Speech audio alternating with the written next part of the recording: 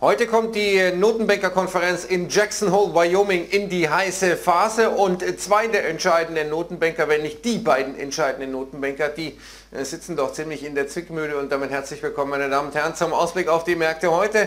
Äh, Janet Yellen sitzt in der Zwickmühle einerseits, weil die Inflation zu niedrig ist, auf der anderen Seite aber die Financial Conditions, die Finanzbedingungen sehr, sehr lax sind, trotz der Zinsanhebungen die die Fed bereits gemacht hat. Was tun? Das ist die große Frage. Die Rede Janet Yellens heute um 16 Uhr hat den Titel äh, Finanzstabilität und die Frage ist, wird Janet Yellen da die ähm, eine oder die andere Seite bevorzugen? Also zu sagen, äh, hier die Inflation ist niedrig, aber sie wird vielleicht höher oder ähm, das wird uns ein Stück weit ähm, erstmal abwarten lassen, was wir mit äh, der Zinspolitik machen. Oder wird sie sagen, ja, äh, das ist schon eine Sorge der FED, dass möglicherweise bestimmte Bewertungen zu hoch sind, weil eben die Finanzbedingungen zu lax sind. Das ist die große Frage, das ist die große Zwickmühle.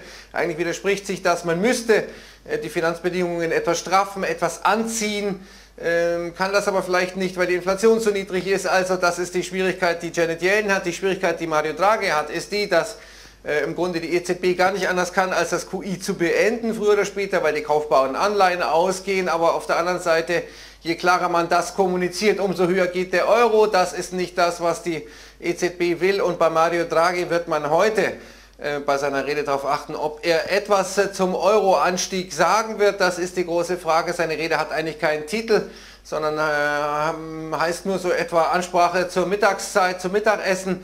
Insofern äh, ist äh, wenig zu erwarten von Mario Draghi, zumindest so haben es äh, EZB-Offizielle suggeriert. Aber wenn er Anmerkungen zum Euro macht, etwa die derzeitige Euro-Stärke ist nicht so wirklich ein Problem für die europäische Wirtschaft, dann würde das eine sehr hawkische Mitteilung sein, würde das bedeuten, dass die EZB jetzt die Schrauben anzieht, keine Angst hat vor einem starken Euro, würde er sagen, ja, wir machen uns Sorgen über einen starken Euro, dann wäre das ein dovisches Signal. Das ist in etwa die Ausgangsposition, in der die Märkte heute sind. Gestern stand im Grunde alles unter dem Zeichen wieder dieser Government Shutdowns Befürchtungen, nachdem Trump zwei mm, Republikaner attackiert hat, die führenden Republikaner attackiert hatte, Mitch McConnell und Paul Ryan und dass eben diese ganze Befürchtung äh, hier ähm, nochmal angeheizt hat, dass es wirklich zu einem Government Shutdown Ende September kommt. Das hat die Märkte in den USA ein bisschen äh, ausgebremst, die zunächst mal auf Future-Basis positiv waren, dann allerdings ins Minus rutschten. Interessant ist, dass Transportwerte weiterhin sehr, sehr schwach sind, während gestern in den USA Nebenwerte ähm, sich äh, ziemlich gut gehalten haben, die in letzter Zeit schwer unter Druck waren. Aber es ist äh, sozusagen ähm, im Vorfeld von Jackson Hole hat man sich nicht allzu weit aus dem Fenster gelehnt, sehr weit aus dem Fenster gelehnt, hat sich jemand im äh, Euro-Dollar-Future mit einer gigantischen Wette auf einen, Euro, auf einen Dollar-Anstieg. Man erwartet also hier offenkundig äh, seitens dieser Wette, die, glaube ich, 11 Milliarden Dollar umfasst, ähm, dass hier der Dollar nach oben geht. Mal sehen, ob dieser Trader recht behält. Ein ähnliches Volumen haben wir übrigens gesehen kurz vor der Wahl im November 2016, als Donald Trump dann überraschenderweise gewann. Schauen wir uns erstmal die Dinge an, wie sie in Asien gelaufen sind. 053 plus der Nikkei, die Asiaten äh, heute positiv gestimmt, ebenfalls in Shanghai 1,16% geht es da nach oben, Hang Seng 0,68, nur Australien ähm, hinkt ein bisschen hinterher, also die Asiaten machen sich keine Sorgen, dass das hier äh, schief gehen könnte, dass hier eine unangenehme Nachricht des, äh, aus Jackson Hole kommen könnte.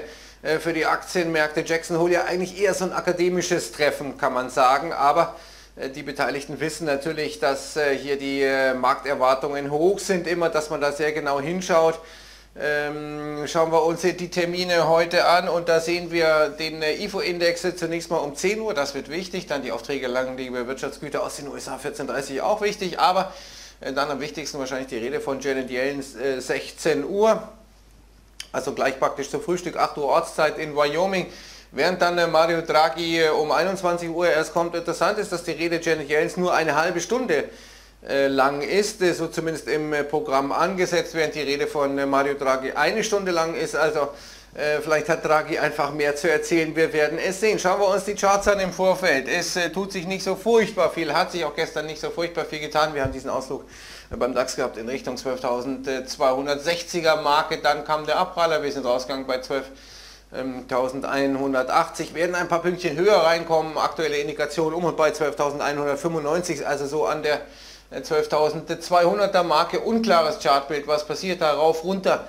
Äh, das ist äh, einfach äh, nicht absehbar. Wir sind im Prinzip in so einer Seitwärtsrange, könnte man sagen, zwischen 12.090, 12.110 und dieser Marke 12.300 bis 12.345. Das sind die entscheidenden Marken beim DAX. Schauen wir uns den S&P an, 2.442. Der Nasdaq, hier sieht man diesen dieses Erschrecken dann zur Markteröffnung nach den Tweets von Donald Trump, 5.842, Dow Jones an der 21.800er Marke. Was macht der Euro?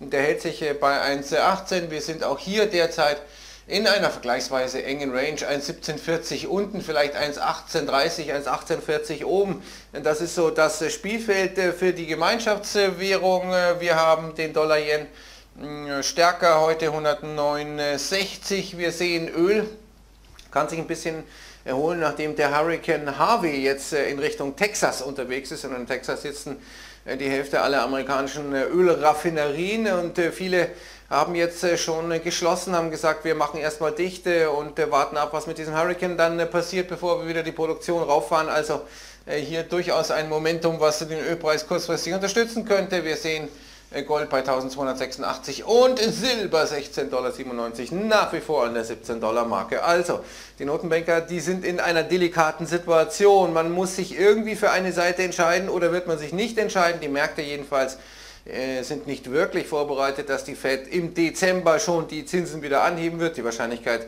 äh, der Fed Fund Futures oder die eingepreiste Wahrscheinlichkeit ähm, bei den Fed Fund Futures liegt unter 50 Prozent. Man geht inzwischen davon aus, dass die Fed im September bei ihrer Sitzung Mitte September dann äh, die Bilanzreduzierung beginnen wird mit kleinen Schritten, aber erwartet eben keine allzu hawkische Janet Yellen heute. Mal sehen, wir werden sie auf jeden Fall bei Finanzmarktwelt erstmal um 16 Uhr auf dem Laufenden halten, was der Janet Yellen machen wird, sagen wird und wie die Reaktion der Märkte sein wird. Ich wünsche erstmal äh, das Allerbeste für diesen Freitag. Bis dann, ciao.